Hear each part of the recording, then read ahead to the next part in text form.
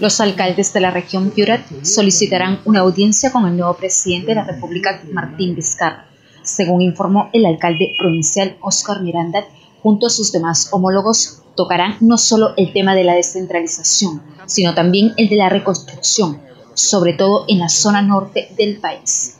Con otros alcaldes del país y lógicamente también con la compañía de los alcaldes de acá de Piura, estamos solicitando una audiencia específica con el presidente de la República, a acelerar el procedimiento de reconstrucción y sobre todo la prioridad de los, los, proyectos relacionados con la prevención. Miranda indicó que lo que se busca en esta reunión son proyectos relacionados con la prevención. Por ejemplo, dijo que en el plan de la reconstrucción no se han incluido las cuencas ciegas y solamente hay un proyecto de rehabilitación de las cuencas del Chical e Ignacio Merino. No es nuestro plan de las cuencas ciegas, pero se han basado en que eh, hay un plan integral que se está realizando con el BID, pero eso puede durar cuatro o cinco años y, no, y, mientras tanto nosotros hemos presentado proyectos de, de, ¿cómo se llama? de intervención en las cuencas ciegas antes de eh, concluir con ese, con ese, con ese gran eh, proyecto relacionado con la. Estos proyectos de intervención estarían valorizados en 21 millones de soles y se actuaría en cinco cuencas ciegas y cuatro drenes.